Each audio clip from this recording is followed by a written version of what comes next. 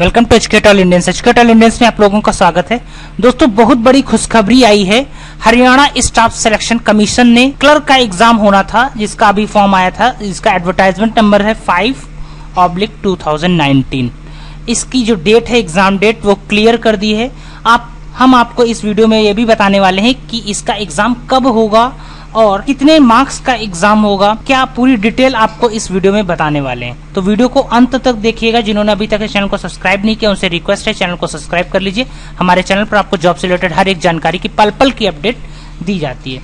तो चलिए, ये देखिए, आपके सामने ये नोटिस आई है, जो इसका क्लर्क का एग्ज़ाम होना है, वो किस किस डेट को होगा। इसके लिए देखिए, ये नोटिस आई है। सबसे पहले इसमें बताया गया था, जब ये नोटिफिकेशन आया था कि इसका एग्ज़ाम जो है, ये कंप्यूटर बेस्ड टेस्ट सीबीटी या फिर ओ सीट पर होगा। तो ये डिसाइड किया गया था, ये डिसाइड किया है हरियाणा स्टाफ सिलेक्शन कमीशन ने कि इसका एग्ज़ाम जो होगा वो ओ बेस्ड होगा। ठीक है? यानी कि ओएमआर पर होगा एग्ज़ाम और इसका एग्ज़ाम जो होगा वो 21 तारीख को कराया जाएगा 22 तारीख को और 23 तारीख को कराया जाएगा।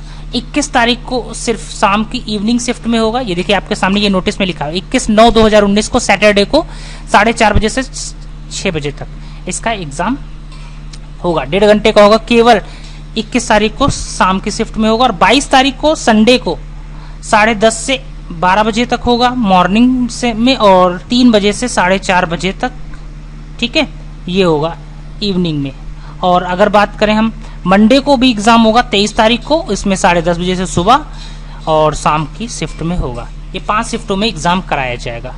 अब आगे बात करते हैं सेंटर पे कितने बजे पहुँचना होगा तो इसके बारे में भी जानकारी दे दी गई है कि जो 21 तारीख को जिनका एग्ज़ाम होगा, यानी कि सैटरडे को जिनका एग्ज़ाम है, वो साढ़े चार बजे से छह बजे तक कराया जाएगा। रिपोर्टिंग टाइम होगा ढाई बजे। ढाई बजे आपको रिपोर्टिंग करना होगा, ढाई और ढाई से साढ़े तीन बजे तक रिपोर्टिंग होगी और साढ़े तीन के बाद एंट्री बंद हो जाएगी।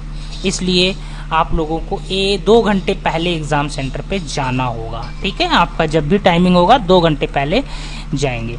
अब बात करते हैं सिलेक्शन क्राइटेरिया क्या रहेगा। हमने अभी अब सिलेक्शन क्राइटेरिया के बारे में आपको बताया कि 100 मार्क्स का टोटल एग्ज़ाम होगा, उसमें से 90 मार्क्स का रिटर्न एग्ज़ाम होगा और 10 10 मार्क्स का आपका सोशियो इकोनॉमिक क्राइटेरिया और एक्सपीरियंस पे 10 नंबर दिए जाएँगे, ठीक है?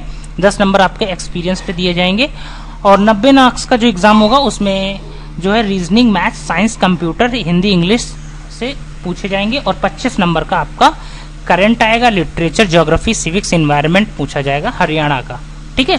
25 परसेंट। तो 75 और 25 परसेंट टोटल 100 परसेंट होगा 90 का। तो 90 के 25 परसेंट में आपका ये हो गया और 75 परसेंट में वो चीज़ें पूछी जाएँगी। ठीक है? और आगे बता दें आपको एडमिट कार्ड आपको डाउनलोड कब से करना है? ये चौदह नौ, चौदह तारीख से। चौदह तारीख या उसके आसपास ये टेंटेटिव है, अभी फिक्स नहीं है। इसके आसपास से आपके पास ईमेल या फिर मैसेज आ जाएगा, तब से आपको इसका एडमिट कार्ड डाउनलोड करना होगा। ठीक है? चौदह के आसपास जैसे ही इसकी कोई नोटिस आती है एडमिट कार्ड डाउनलोड करने की, हम सबसे पहले आपको वीडियो बनाकर बताएँगे। इसके लिए चैनल को सब्सक्राइब कर लीजिएगा बेल आइकन को दबा लें। वीडियो पसंद आया तो प्लीज़ लाइक करें, ज़्यादा से ज़्यादा शेयर करें। धन्यवाद दोस्तों।